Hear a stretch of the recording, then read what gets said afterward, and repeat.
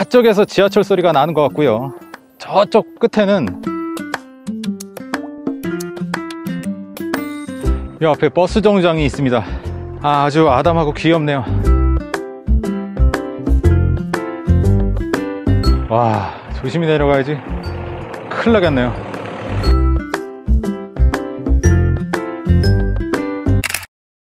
안녕하세요. 찍사홍입니다. 저는 지금 남양주시 화도읍에 나와 있습니다. 보시다시피 이것도 경치가 상당히 좋은 곳중 하나죠. 이 마을도 역시 제가 들어와 산다면 어떨까 하는 마음으로 아주 꼼꼼히 살펴볼 테니까요. 영상 재밌게 시청 바랍니다. 참고로 토지 가격은 제목과 썸네일에 표기해 놓겠습니다. 그럼 한 바퀴 둘러보시죠.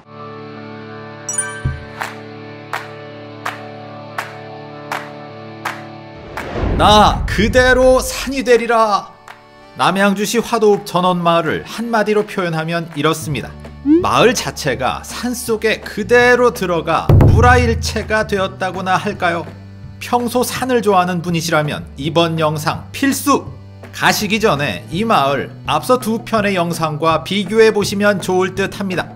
먼저 높은 고바위가 비슷한 고기동 편, 그리고 같은 동네라 유사점이 많은 수동면 편, 이 마을들과 세트로 묶어서 확인해 보시면 분명 많은 도움이 될 듯. 오늘 돌아볼 곳 위치는 여기입니다. 스카이뷰로 보니 네, 산 한쪽 면을 그대로 이용한 게 맞군요. 딱 봐도 마성역이 눈에 확 들어오죠. 요 부분 조금 있다 걸어가며 확인해 보겠습니다. 먼저 아래쪽으로 내려가 볼까요? 마을로 통하는 도로 자체는 훼손되지 않고 잘 깔려 있는 상태. 참 다행이죠. 조금 더 내려가 보니 샛길이 있네요. 뭐가 있을까요? 한번 올라가 볼까요? 아하, 작은 공장이 있었군요. 입구에서 맹견 두 마리가 아주 격하게 반겨주네요. 에구 에구 도망가자. 다시 내려가 보겠습니다. 와, 저렇게 큰 레미콘 차량도 올라오다니. 하긴 공사 차량이 못 올라가면 저 위엔 마을 자체가 아예 없었겠죠. 다시 구비구비 계속 길 따라 가보겠습니다. 전면에 아파트가 보이는데요. 여기서 돌발 퀴즈! 마을 주변에 저런 커다란 공동주택들이 보인다는 건 무슨 뜻일까요? 딩동댕! 맞습니다. 주변 인프라가 나쁘지 않다는 일종의 사인. 더 내려가서 산 가장 아래쪽엔 또 다른 공동주택, 빌라도 공사 중이네요. 이것이 마을 진입로인데요. 아, 길이 좀 작죠. 여기도 살짝만 막혀도 혼선 예상. 좁은 진입로, 남양주 외곽의 공통적인 문제점인 듯 하네요. 이대로 길 따라 내려가면 금방 마석역과 마석지구가 나옵니다. 하지만 가기 전에 마을 앞엔 뭐 딱히 아무것도 없어요. 딸랑 편의점 하나. 이따가 자세히 살펴보기로 하고요. 일단 다시 마을로 올라가 보겠습니다. 차로 천천히 움직이다 보니 이것저것 궁금한 게 생기더군요. 주변에 경춘선, 마성역이 있으니 교통 걱정 끝인가? 거기까지 가는 버스는 어떤 게 있을까? 근데 걸어서 왔다 갔다 하긴 힘들려나? 내가 직접 걸어보자. 이 마을 아이 교육 문제는 어떻게 할까? 설마 초중고 가려면 산 하나 넘어가야 되나? 대형 마트와 종합병원 당연히 마석역, 마석지구에 있겠지. 어떤 것들이 들어와 있을까? 당장 마을 주변은 썰렁하기 그지없는데 딱히 호재가 있을까? 또 근처에 가볼 만한 곳은 어떤 게 있을까? 어때요? 이 정도면 대략적인 이 마을 분위기는 파악하셨을 겁니다. 그럼 아까 떠올렸던 그 작은 질문들 직접 걸어보며 확인해 보시죠. 본격적인 도보 여행 함께 시작해 보시죠. 아 정말 가슴이 뻥 뚫립니다. 너무 분위기가 좋아요. 공기도 시원하고요. 헬리콥터가 지금 어저 독수리 독수리. 저 독수리가 갑자기 저를 공격하지 않을까 살짝 걱정됐습니다. 이 마을에서 교통이요. 아무래도 자차가 가장 빠르고 속 편합니다. 특히나 이런 고지대라면 운전은 필수겠죠. 그럼에도 대중교통 확인 안 해볼 수는 없는데요. 네, 제가 직접 걸어서 내려가 보겠습니다. 아, 이쪽에도 예쁜 집들이 길 따라 쭉 늘어서 있네요. 여기는 저 윗동네에 비해 좀 더 경사가 완만한 듯 그나저나 집들이 모두 조경에 공을 엄청 들였군요. 이 앞에 버스 정류장이 있습니다. 아, 아주 아담하고 귀엽네요. 산성마을 한 대 있네요, 한 대. 마성역부터 송천리 종점까지. 그렇습니다. 일반 버스 딱 한 대 있습니다.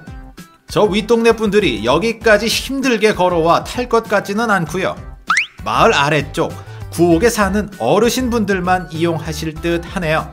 아하, 근처에 철도라는 훌륭한 교통수단이 있음에도 보시다시피 이렇게 오고 가기 힘들고 또 버스마저 귀하다니 무척이나 아쉬운 대목이었습니다.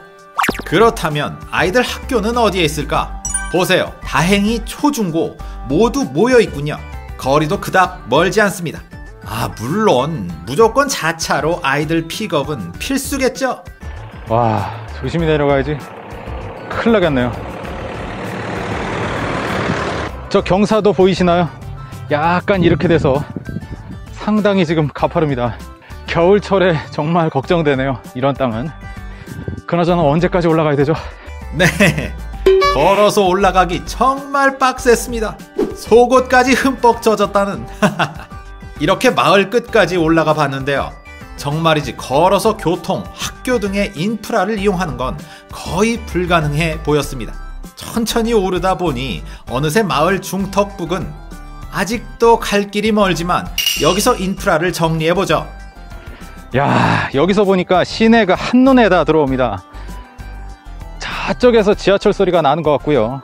저쪽 끝에는 롯데마트도 아주 조그맣게 보이고 있습니다. 대형 마트요. 네, 저 아래 마석 롯데마트를 이용하시면 됩니다. 여기서 차로 약 10분 거리. 근처에 남양주 이마트도 있는데요. 여기선 20분 정도 걸리네요. 종합병원 아쉽게도 인근 마석지구엔 없답니다.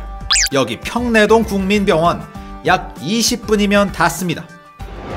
나 그대로 산이 되리라. 어디를 둘러봐도 산, 산, 산. 여기 살면 마치 산처럼 튼튼한 육체와 원대한 기상을 자연스럽게 닮아갈 수 있겠죠. 크, 사람이 그대로 자연이 된다. 이 얼마나 멋진 일인가요? 그럼에도 여기 세속의 호재마저 몰려옵니다.